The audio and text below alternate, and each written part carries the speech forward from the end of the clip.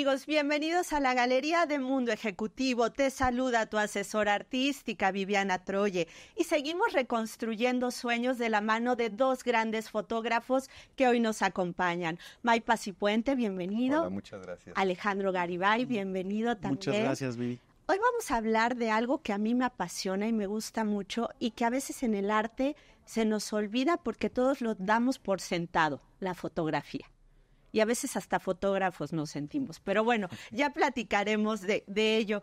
Estoy con ustedes que tienen grandes trayectorias y quisiera que para nuestros amigos que están en casa, pues nos contaran un poco de ellas y luego nos metemos más al tema fotográfico. Alejandro Garibay, bienvenido y cuéntanos de tu trayectoria, por favor. Muchísimas gracias, Vivi. Una vez, un, un honor estar aquí otra vez contigo. La verdad es que por segunda vez y aquí acompañado de de Mike. Un placer. Este, bueno, pues mi, trayectoria es eh, realmente corta, vamos a decirla. Eh, tengo 10 años eh, en, la, en la fotografía 100% de lleno. pues mi carrera era principalmente de, en el área automotriz, que estuve como, como ejecutivo en empresas transnacionales aquí en, aquí en México. Y, y hace 10 años aproximadamente fue cuando me empecé a, a un poco más de 10 años, a, envolver mucho más y a trabajar ya directamente con, la, con mi pasión, con mi emoción, que es la fotografía. Me parece excelente. Y aquí de la mano de, de Mike, también, cuéntanos, ¿hace cuánto empezaste con la foto? Llevo afortunadamente 34 años aprendiendo foto. Seguimos.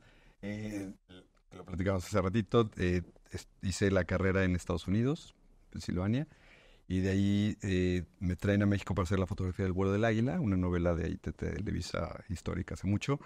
Estuve con ellos ocho años y de ahí me independizo y me clavo mucho en producto, en fotografía comercial.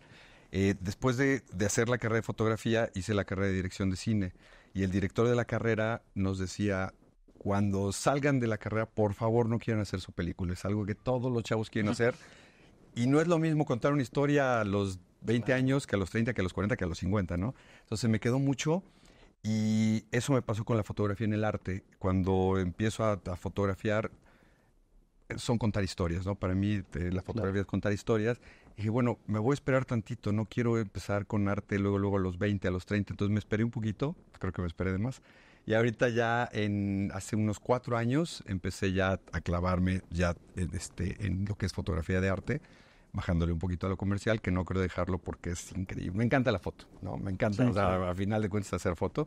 Y ahí estamos, ahí estamos. en el caso eh, principal tuyo, que esto, bueno, aquí lo, como buena anécdota, este, lo, lo, comentamos porque nos conocemos de antaño, pues también te tocó fotografía con bandas y el rock y también por ahí eso estuvo muy interesante, oye, también, digo, también este, funciona como, como te nutre para que sigas teniendo más proyectos y más por toda la experiencia. Sí, eh, corrí también con muy buena suerte porque llegando a México, yo la secundaria sí la hice aquí en México, yo soy mexicano, nací aquí todo. Eh, me fui a hacer la prepa en Estados Unidos y después la carrera, pero mis amigos de secundaria, cuando yo regreso, yo tenía 21 años cuando empiezo a fotografiar en Televisa, pero la gente de mi edad pues empezaba con sus grupos, empezaban a tocar y fue, fuimos creciendo y pues ahorita son los, las, gran, las grandes bandas, ¿no? Que lo mismo en Televisa, llegando los que estaban saliendo del SEA de mi edad, pues hace ya ahorita ya están más grandes, pero no voy a decir nombre, pero hace 20 años o 15 años eran todos los protagonistas de novela. Entonces, justo como que me tocó los chavitos que conocí en Televisa ya de protagonistas y mis amigos de secundaria, pues todas las bandas más importantes de, música en México, ¿no? Entonces sí, sí estuvo padre. La verdad que estuvo, yo, yo también me acuerdo de, esas épocas. Alejandro, regresando contigo, que también tuve la fortuna que hace no mucho estuviste aquí platicándonos parte de tus proyectos. ¿Cómo van tus proyectos de foto? Pues mira, afortunadamente muy bien. Tenemos, eh, eh, bueno, hace, hace eh, aproximadamente cuatro meses, eh, tuve una, una, exposición.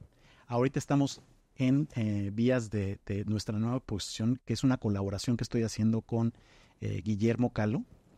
vamos a hacer una exposición en el Club de Golf Chapultepec y la, la exposición se llama Caminos Cruzados.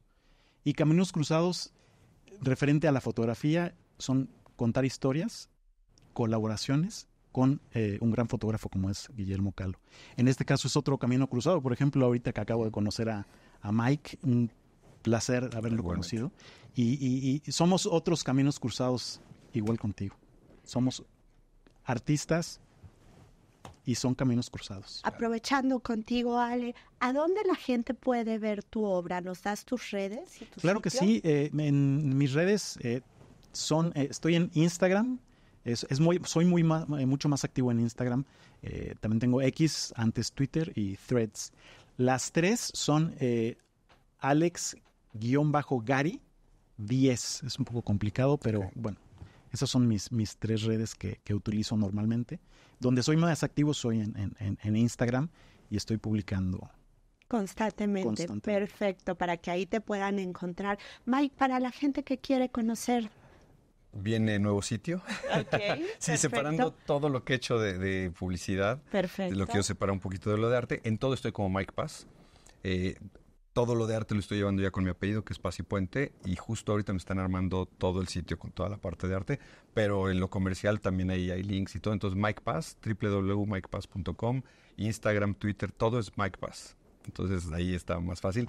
Y ahí ya va a venir lo nuevo, que es todo lo de Paz y Puente, con todo lo de arte. Y vamos a estar muy pendientes de toda su carrera. Y bueno, Amigos, yo me despido como siempre recordándoles que invertir en arte es enriquecer el espíritu. Hasta pronto.